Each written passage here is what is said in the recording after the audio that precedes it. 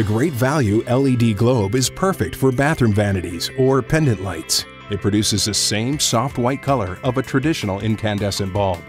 This lamp replaces a 60 watt incandescent bulb, but uses only 8 watts of energy.